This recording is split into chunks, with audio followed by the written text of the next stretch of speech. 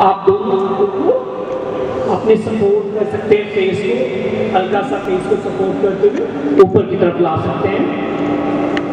अब धीरे धीरे दोनों पैरों को साइड में चलाएँगे दाएँ बाएँ दोनों तरफ़ जाने दीजिए पैरों को। एक साथ दोनों पैरों को मूव कीजिए। इससे आपको काफ़ी रिलैक्स मिलेगा।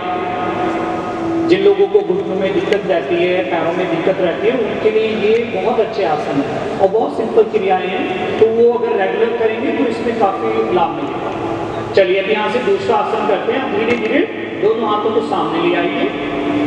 और पहले सामने की तरफ़ स्ट्रेच करिए और फिर धीरे धीरे ब्रीदिंग करते हुए अपर बॉडी को ऊपर उठाना है।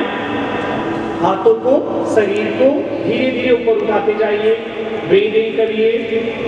इसको भी हम सर्पासन बोलते हैं, भुजंगासन के एक सब्स्टिट्यूट पोज है।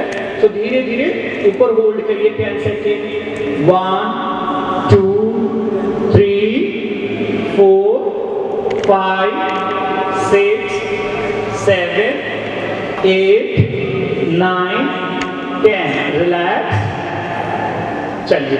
अब यहाँ से दूसरी तरह से करेंगे इसी आसन को।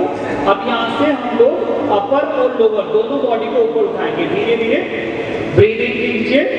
और अपर और लोअर बॉडी दोनों को ऊपर उठाना है। Breathe in and hold your body up